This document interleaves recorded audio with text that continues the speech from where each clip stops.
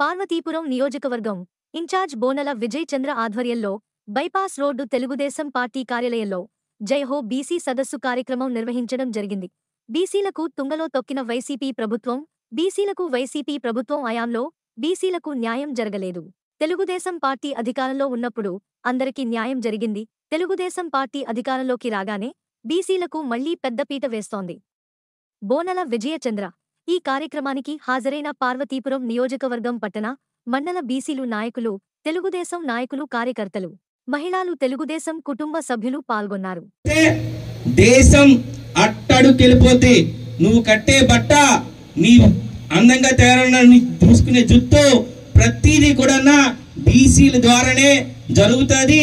BC లేకపోతే దేశమే కాదు ప్రపంచం కూడా ఒక దారుణమైన పరిస్థితికి వెళ్తుంది.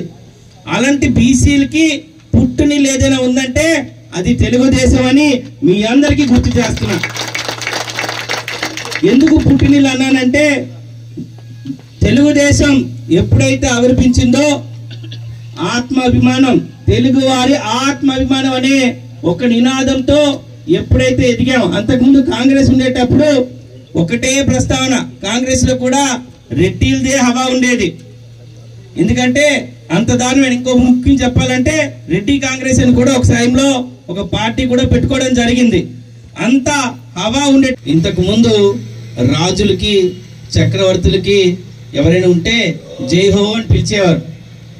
నిజం చెప్పాలంటే భారతదేశమే కాదు ప్రపంచంలో బీసీలే లేకుంటే ఇది జీవన శైలి కలిగిన కుటుంబాలు ఏమైనా ఉన్నాయంటే అవి బీసీ కుటుంబాలే. అనేది మీ అందరికీ చెప్పాలి. అంటే బీసీలో బ్యాక్వర్డ్ కాస్ట్ కమ్యూనిటీస్ కాదు. నేను ఎప్పుడూ చెప్తా బీసీలు అంటే the best communities in the world ప్రపంచంలోనే ఎప్పుడు చూడనంత నైపుణ్యత కలిగిన గొప్ప కమ్యూనిటీస్ మన భారతదేశంలో ఉన్న బీసీ కమ్యూనిటీస్ ఒక నేతన్న వేసే చీర చూసి ప్రత్యేక దేశాలు ఆశ్చర్యానికి గురవుతాయి. ఇది చేతితో వేసిందానని నేను కూడా చాలాసార్లు మాట్లాడినప్పుడు ఇంత గొప్పగా